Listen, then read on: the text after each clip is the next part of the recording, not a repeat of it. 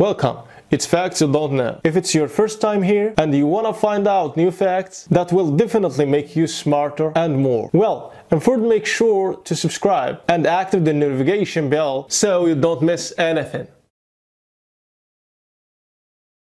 The woman endured the bullying of her mother in law for a long time, but one day she prepared a special dinner for her. Why could a mother in law hate her daughter in law or daughter in law to hate her mother in law? The relationship between a mother in law and a daughter in law is among the most sensitive of family relationships. The success or failure of the relationship depends on the quality of the communication process between these two parties. The process of communications based on mutual respect is among the most important factors that improve the relationship between the daughter in law and her mother in law.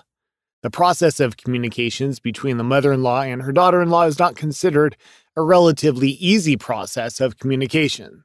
Despite its difficulty, but the issue is not at all impossible. The matter requires the actual will of both parties and the desire for a good relationship between them.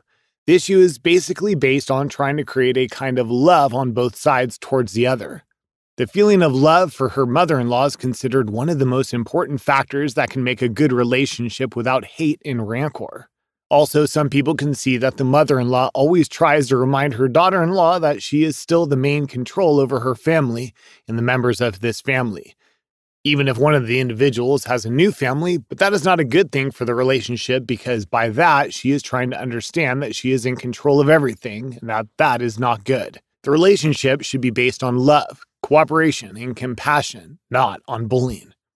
In the city of St. Petersburg, Russia, it's rumored that a young man named Victor loves a beautiful girl named Angela.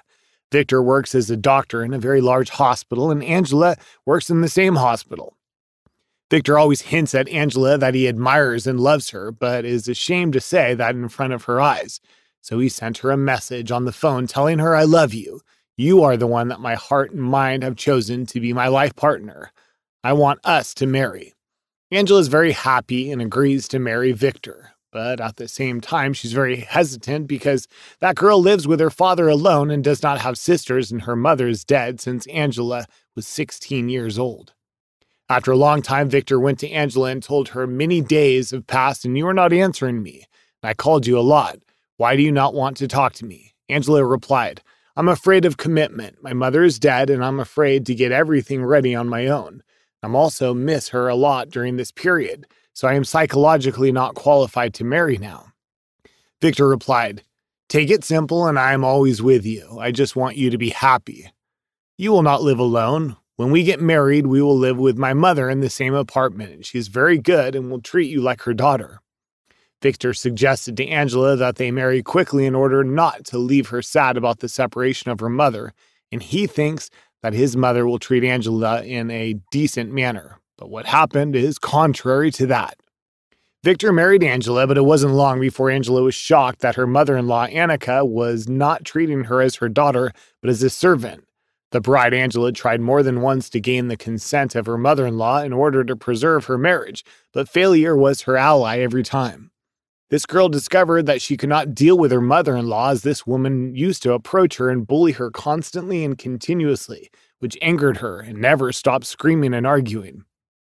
Mother in law Annika was embarrassing Angela a lot. One time, Annika did a party in the garden of the house and asked all her friends and relatives to attend. That was Friday, and everyone came to that party. Everyone sat at the table to eat, and Annika said, I prepared everything and prepared the food. My daughter in law Angela did not help me. She's very lazy and does nothing but surf the internet. She has not had children yet, and we want a child very much. Annika laughed and bullied her son's wife in front of people and embarrassed her a lot. Angela was very embarrassed and excused. Under the pretext that she wanted to go to the bathroom, she went to the bathroom to cry so that no one would see her while she was in there, that sad state. Angela thought that her mother in law, Annika, would be like her mother and would compensate her for her deceased mother because the one who encouraged her to marry was her husband Victor, when he told her that his mother would treat her kindly and would treat her as if she were her daughter. Angela was so disappointed and frustrated that she was sure that she would not be able to be with her mother in law Annika in the same apartment. Days passed. Neither did the mother in law Annika change her treatment of her son's wife, Angela, nor did the wife accept her behavior. But things got worse, and sadness, anger, and unhappiness took over the entire house. The husband felt the tension from this relationship began to suffer in turn from sadness and depression, till the day came when the wife decided that she could not bear it any longer. Angela decided to take revenge on her mother in law, Annika, so she went to a pharmacist, an old friend of her family, explained the situation to him in full, and asked him to bring her some toxic drugs gradually so that she would get rid of her mother in law, who was troubled by her life.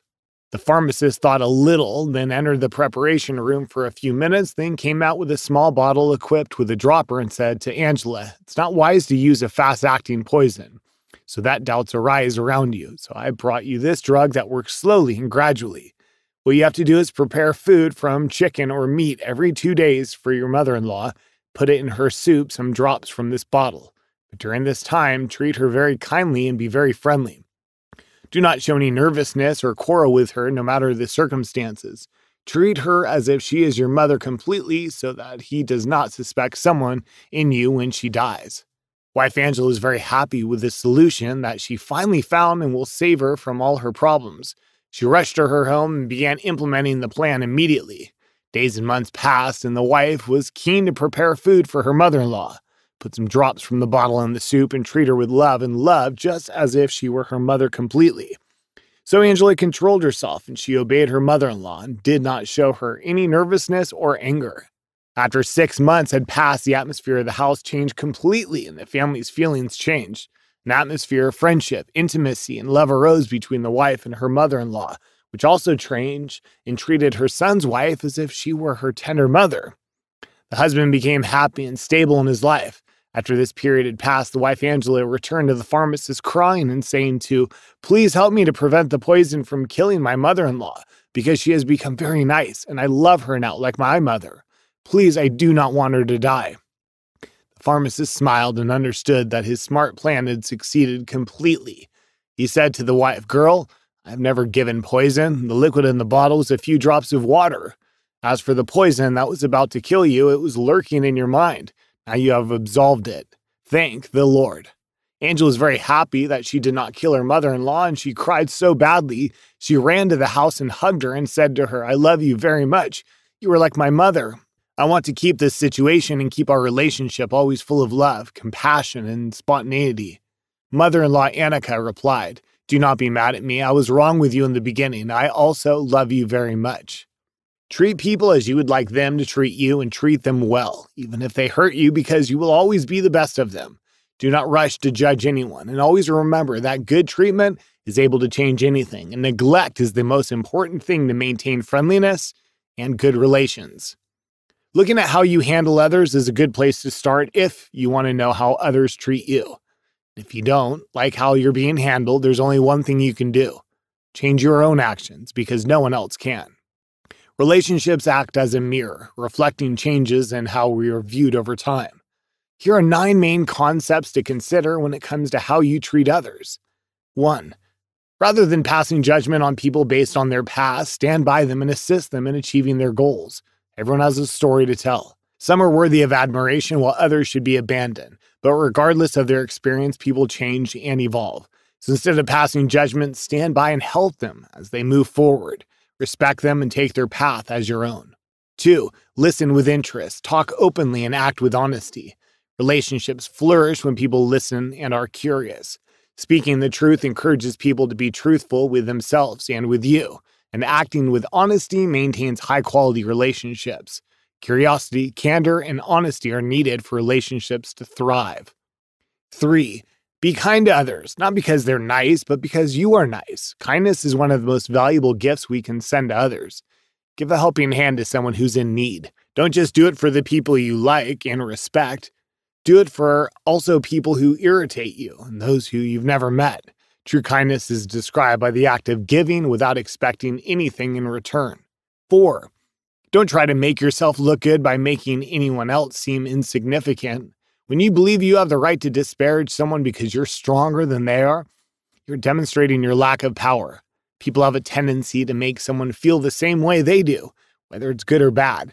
If you can't assist, support, or love them, do whatever you can to avoid hurting them or making them feel insignificant. Treat anyone you come into contact with respect. 5. Keep in mind that everyone has a story to tell. It may be something they've dealt with in the past or something they're dealing with now. But keep in mind that behavior doesn't happen in a vacuum.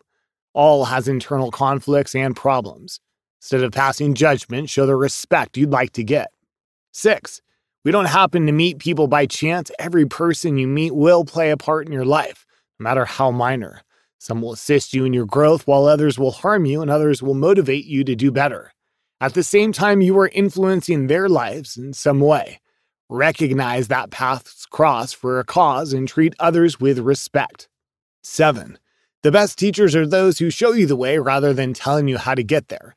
There's no greater pleasure than assisting others in seeing a vision for themselves and seeing them achieve goals they can never have dreamed on their own.